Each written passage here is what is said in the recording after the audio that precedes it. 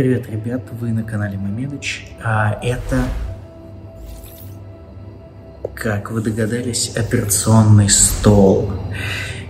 На этом столе вершатся судьбы многих людей, проводятся сложные операции, и иногда после них больные погибают, умирают, и от этого никуда не деться в медицине, тем более в нейрохирургии. Сегодня будет выпуск о том, от чего же умирают наши пациенты, какие осложнения случаются. И в конце видео ты узнаешь, были ли у меня смерти на столе. Ну что, интересно? Поехали!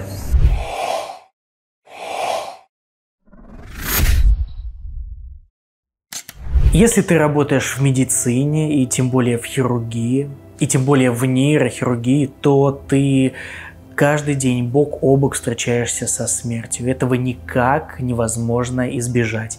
Есть несколько специальностей, которые чаще всего и теснее всего сталкиваются со смертью. Это, я думаю, те, которые работают как раз с головным мозгом, это неврологи и нейрохирурги, и, конечно, реаниматологи, и, и конечно, патологоанатомы. Но если патологоанатомы, э, им уже совершенно поздно, и обычно все равно на то, каким образом произошла смерть больным, больного, точнее, конечно, не все равно, но они уже ничего не могут сделать, то неврологам, неврологи, как обычно, они лечат Э, не вмешиваясь э, в организм человека, то есть не проводя какие-то операции или манипуляции.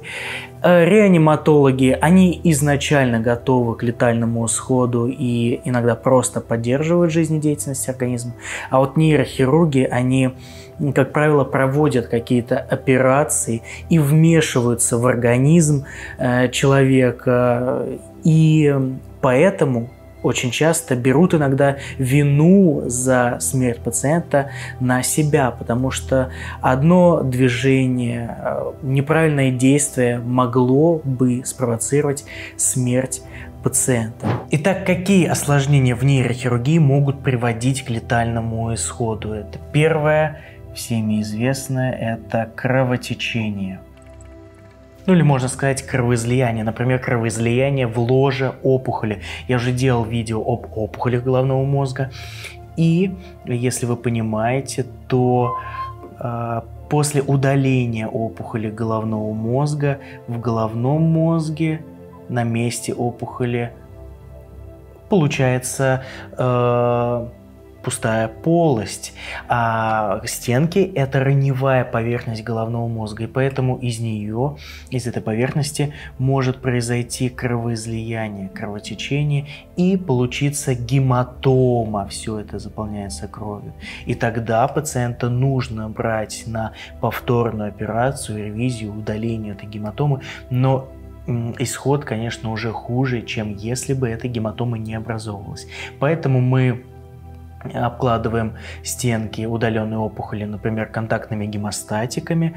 А, это такие специальные вещества по типу ваты или марли, которые предотвращают а, кровотечение. Но в любом случае после операции может повыситься давление и все это приведет к гематоме и, возможно, к летальному исходу. Второе осложнение, очень грозное осложнение, это вазоспазм. Если вы не видели видео об аневризмах, о бомбе замедленного действия в головном мозге, то посмотрите обязательно, это очень интересное видео и познавательное. Но и если вы помните из того видео, то при разрыве аневризмы а, в головном мозге кровь изливается вокруг сосудов, и потом при а, и ее рассасывании в, вокруг сосуда выделяются токсические вещества, которые вызывают спазмирование сосуда, и сосуд сужается, тем самым ухудшая кровоснабжение головного мозга, а значит снабжение его кислородом. Третье осложнение, которое не любит никто из нейрохирургов, это ликвария. А, ликворея может быть и не после операции, например, после черепно-мозговой травмы, если сломан а, сломано основание черепа, например, то из нос носовых ходов или из ушных раковин может изливаться ликвор. Ликвор – это спинномозговая жидкость, которая омывает наш мозг. В норме э, внутри черепа находится не только полушарии, э, но и внутри черепа находится так называемый ликвор. Еще находится и, конечно, в желудочках. Вот здесь. И э, когда мы проводим операции, то мы нарушаем целостность оболочек, например, сухаем твердую мозговую оболочку и арахноидальную э, нарушаем. И тогда где-то, например, вот здесь, если рана плохо ушита или под действием отека головного мозга, ликвор может истекать наружу. Если он истекает наружу, э, то он в воздухе и вообще в открытом пространстве, он встречается, конечно же, с бактериями. И тогда бактерии, а значит инфекции, могут проникать внутрь, вызывая тем самым менингит – это воспаление оболочек головного мозга, которое, э, конечно, плохо сказывается на состоянии пациента и может привести даже к смерти. В большинстве случаев мы умеем лечить э, воспаление мозговых оболочек менингит э, бактериальной природы, назначая антибиотики, но иногда нозокомиальная инфекция, то есть внутрибольничная инфекция, которая живет внутри больницы, значит, она очень и очень страшная, она невосприимчива ни к каким антибиотикам. Например, MRCA, это метилен-резистентный стафилококус ауреус, и он иногда даже дает рост бурный на антибиотиках, поэтому это грозное осложнение, которое нужно избегать, грамотно ушивая рану. Четвертое осложнение, осложнение, которое встречается не только в нейрохирургии, но и в хирургии и э, может встречаться очень-очень часто, это тромбоэмболия легочной артерии, сокращенно ТЕЛЛА. Мы знаем, что после операции пациенты какой-то период остаются в недвижимом состоянии, или, например, если мы имеем дело с нейрохирургией, то иногда пациенты просто не могут двигать ногами, а у них в ногах находятся вены, как мы знаем, поверхностные вены, глубокие вены. И кровоток в них в этом случае, когда они малоподвижны, э, замедляется. Поэтому мы обязательно должны назначать а, компрессионное белье, чулки или бинты и как можно раньше активизировать больного. Но вопрос не в этом. Когда э, замедляется кровоток в венах нижних конечностей, там могут образовываться тромбы. И тромб э, может флотировать, флотировать э, в одной из вен и потом улететь, куда бы вы думали, э, в ствол в легочной артерии. Легочная артерия, э, на самом деле в ней идет как раз-таки венозная кровь и эмбол, попадая в легочную артерию, тромбирует ее и тем самым э, вызывает инфаркт легкого, можно так сказать, некроз части легкого.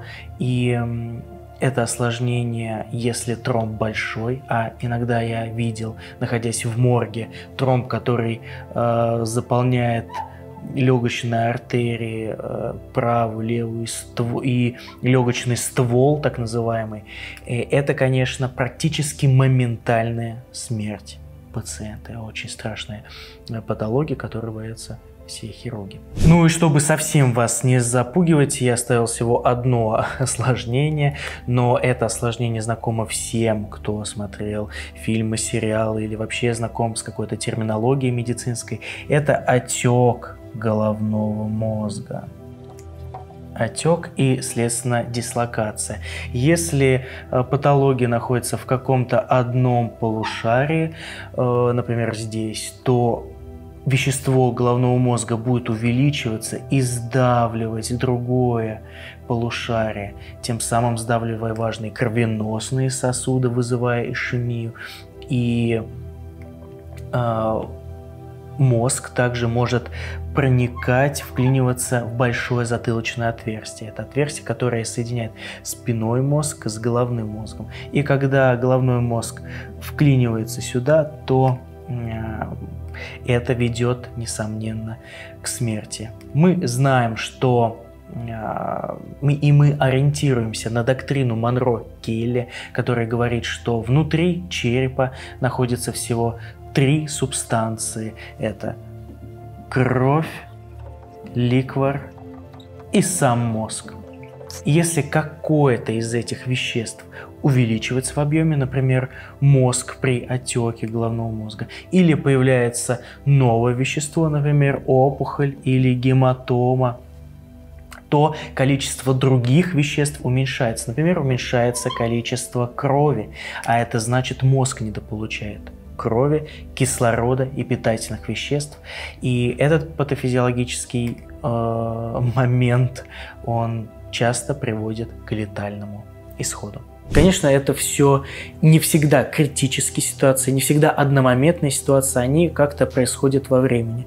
Но если мы говорим о ситуациях, когда дело стоит э, на грани жизни и смерти, как в сериалах, когда прямо на операционном столе происходит борьба за жизнь пациентов, то таких случаев в моей практике было, я думаю, что два, которые я могу вспомнить. Первое – это девушка, которая страдала импиемой э, головного мозга. Что такое импиема? Это скопление гноя в оболочках. И если Э, мы говорим про импиему внутри черепа, то это скопление гноя прямо над головным мозгом и под оболочками.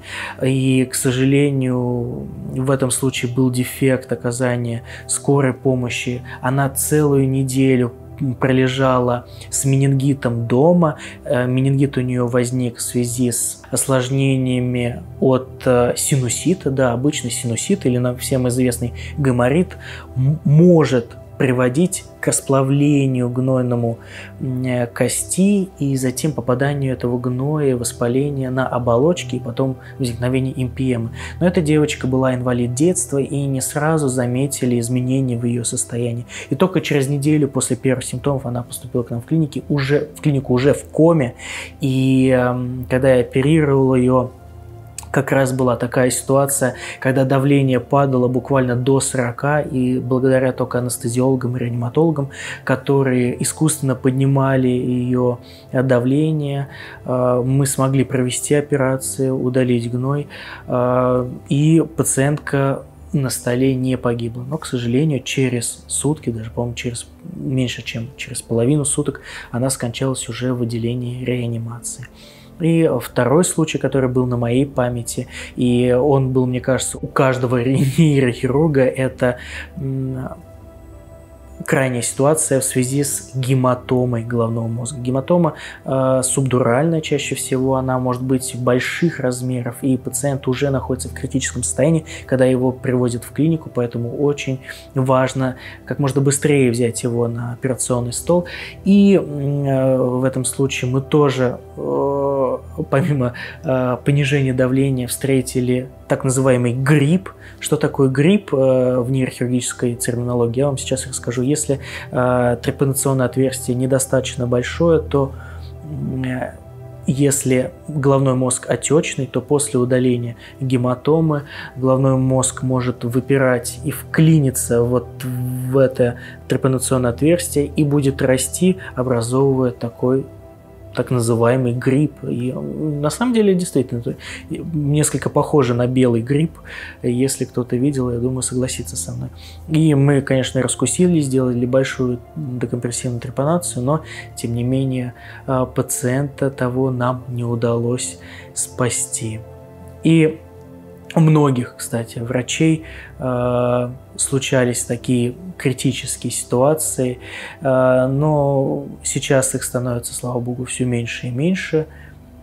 И заканчивая это видео, я вам обещал рассказать, случались ли действительно у меня э, смерти на операционном столе, я хочу сказать, что до этого времени, пока у меня не было смерти на столе, но никто от этого не, страху, не застрахован, и поэтому, если вы хотите идти в хирургию или в нейрохирургию, то, конечно, вам нужно э, набираться уверенности и приобретать так скажем, вторые полови, половые, вторичные половые признаки мужчины с металлическим оттенком.